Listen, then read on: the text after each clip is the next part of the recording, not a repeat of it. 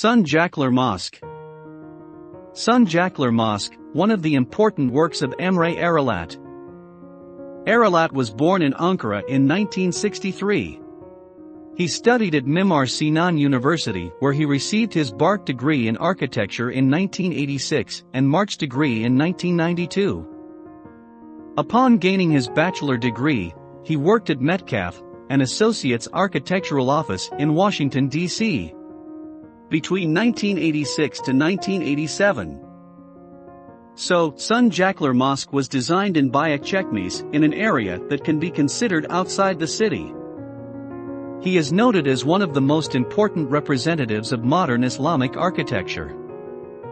Islamic architecture is in itself a style that exhibits the values and culture of Islam, but in modern times adhering to tradition falls from practice, so a combination style has been formed. Using aspects of both modern and Islamic styles, designers found a way to have Western-inspired modernism with the classical cultural aspects of Islamic architecture. Due to the fact that Ottoman architecture is out of date as a result of modern construction techniques and technological developments, Emre Arolat, who wanted to go out of these patterns, went out of order and gave Istanbul a simple and impressive mosque. The fact that the area worshipped in the Islamic religion can be any clean place, and the mosque does not have any specific shape, is the most important point of origin of Emre Arolat's design. An attempt has been made to create a mosque that appeals to physical and emotional perceptions by going out of shape-based patterns. It is also said that the design of the mosque was inspired by the Hira cave, the place where the first revelation came to the Prophet Muhammad.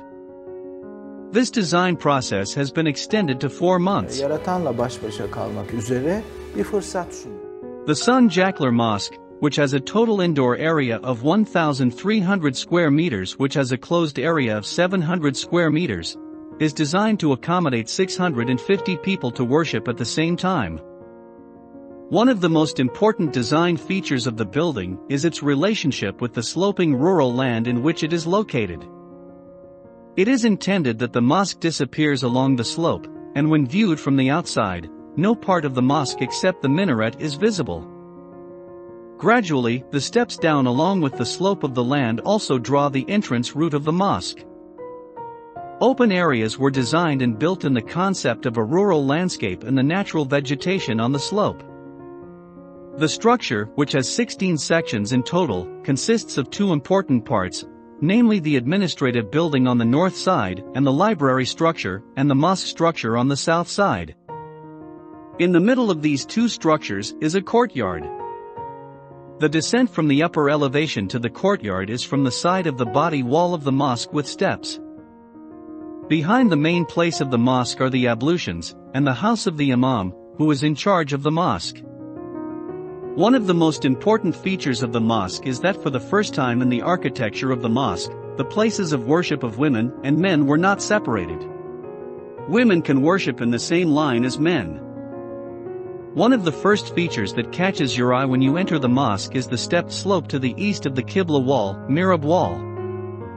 The flat floor, which is in classical mosques, and the increasing slope towards the Qibla wall, although very little, are in the opposite direction here. In this way, visitors entering the mosque or those who want to worship are planned to sit where they want as soon as they enter the mosque, rather than app. When entering the mosque, the letter VAV is found on the left side as an example of a large hat inscription. This article bears the signature of Mehmet Özcay and conforms to the simplicity of the mosque. The material choices in the Sancaklar Mosque practice are gross concrete, wood and stone. Care has been taken not to contradict the general integrity of the structure of the materials used. In addition, no chemical paint was used anywhere in the structure. Even when the Sancaklar Mosque was still under construction, it was nominated and awarded in many competitions around the world. Allahu Akbar, Allahu Akbar.